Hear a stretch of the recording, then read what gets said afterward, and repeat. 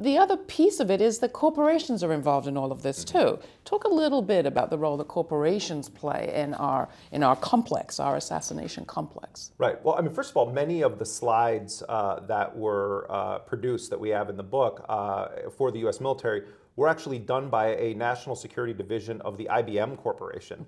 Uh, where they have a whole national security division. And what, what we did is we also we, we analyzed, and they use some of the same language and actually the same templates for slides that are about killing people, hunting and killing people, uh, for other corporate clients. And they use the, the it's, it's, it, it really, it, it, seems like they are, are producing widgets, you know, mm. I mean, that's how they talk about it. And, and, and, and the banality of evil just is kind of oozing from these things because it's like, who are the, who are the authors who wrote these documents that refer to find, fix, finish, you know, all, all of these terms that they use, and we have a whole glossary of them in there.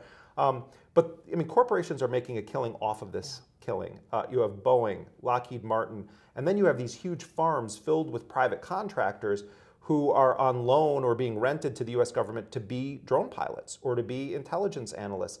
And, and those individuals are essentially part of a matrix uh, that is a for profit industry of killing. Um, and, and it's wrapped in the sort of flag of patriotism and national security.